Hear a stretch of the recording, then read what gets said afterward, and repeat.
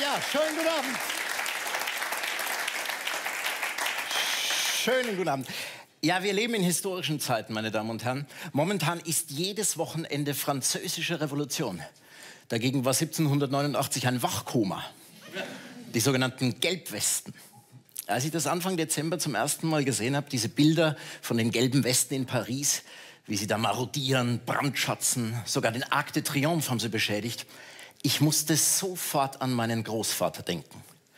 Wenn Opa das sieht, das reißt ihn noch mal kurz aus der Demenz.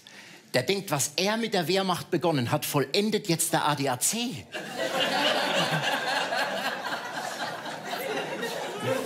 Ich frage mich nur, wie kommen die Franzosen plötzlich darauf, sich so anzuziehen? Und noch dazu in Paris, der Stadt der Mode.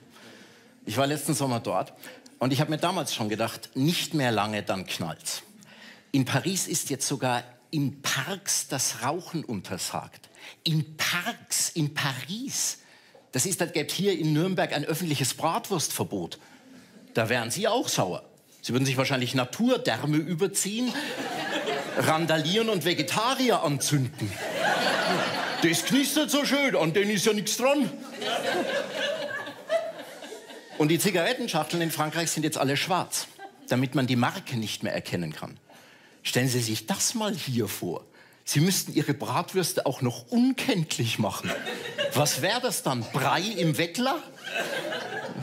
Dafür habe ich die Franzosen ja immer am meisten bewundert. Für die permanente Kippe im Mund. Sehen Sie sich jeden berühmten französischen Film an. Alle qualmen. Immer. Egal bei welcher Tätigkeit. Französische Chirurgen haben während der Herz-OP in den offenen Brustkorb geascht. Und das wird ihnen genommen. Ein Franzose ohne Stängel im Gesicht ist ein Belgier. Die Warnweste dagegen ist das hässlichste Kleidungsstück seit dem Blätterteigmantel.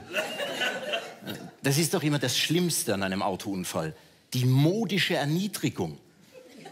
Als wäre es nicht schon wüst genug, dass der Reifen geplatzt ist und der Beifahrer einem die Polster vollblutet. Nein, man muss auch noch dieses Ding überziehen und damit am Straßenrand stehen. Das kann ich mir nicht leisten. In meiner Position, da fahren die Leute vorbei und sagen, da, schau, der Tretter, jetzt ist er Schülerlotse. Hat nichts gebracht mit dem Kabarett. Aber ich glaube, es hat gar nichts mit Frankreich zu tun. Die Warnweste ist einfach das typische Outfit für die Online-Gesellschaft. Sofort verfügbar, ohne dass man sich groß bewegen muss. Wie bei Amazon. Wir haben es sich jetzt alle an Weihnachten erst wieder erlebt. Diese Verfügbarkeit. Wer besorgt denn heute noch Geschenke? Man muss halt ein bisschen klicken. Und man kriegt natürlich auch was selbstgeklicktes geschenkt. Unter einem geklickten Christbaum mit geklickten Kugeln und einer geklickten Krippe. Das Einzige, was ohne Klicken kommt, ist die Verwandtschaft. Man klickt sie nicht, man liked sie nicht, aber man würde sie am liebsten teilen. Und wer Gelbweste werden will, muss eben auch nur klicken. Am Kofferraumdeckel. Was war das früher für ein Aufwand, wenn man sich einer Gegenkultur angeschlossen hat? Die Klamotten, die Frisur, die Musik, der Krach mit den Eltern. Ich wollte mal Punk werden. Als ich alles beisammen hatte, war die Love Parade in. Und kaum hatte ich dafür die Tattoos, wurde die Love Parade eingestampft. Schließlich dachte ich, na gut, wäre ich eben Yuppie, Young Urban Professional. Rausgekommen ist das. Ein UFO. Urban Franconian Oldie. Und das braucht's alles nicht mehr. Jetzt kann man aus dem Nichts heraus Teil einer Bewegung werden. Genauso wie man heute aus dem Nichts heraus tausend Freunde hat. Die Gelbwesten sind eine Gemeinschaft von Leuten, die kaum etwas verbindet, wie bei Facebook, außer so einem Gefühl im Bauch, wie bei Tinder, was zu utopischen Erwartungen führt, wie bei Parship, die sie alle wirr durcheinander plärren, wie bei Twitter, während sie ohne Führung durch die Stadt marodieren auf der Jagd nach etwas, das es nicht gibt, wie bei Pokémon Go. Aber jetzt, da sie mal damit angefangen haben, wissen sie nicht mehr, wie sie aufhören sollen, wie bei allen Internetdiensten. Kurz, Sie benehmen sich wie völlig verblödete User. Und da kann man doch nur sagen, fantastisch. Nur so geht's. Sie schlagen das System mit den eigenen Mitteln.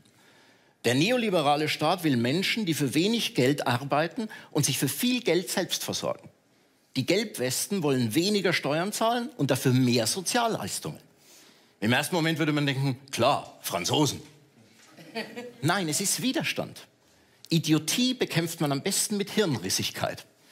Deshalb haben sie auch keinen Verhandlungsführer, weil es nichts zu verhandeln gibt. Es geht nur noch um die Frage, wer ist am Ende der Dümmere? Der hat gewonnen. Aber das eigentliche Problem ist natürlich, was macht man jetzt bei einer Autopanne in Frankreich? Wenn man die Warnweste nicht anzieht, kriegt man einen Strafzettel. Wenn man es tut, Tränengas. Gut, wir Deutschen, wir kennen ihn ja, den Franzmann. Nach zwei Weltkriegen wissen wir, am besten, man fährt gar nicht erst hin.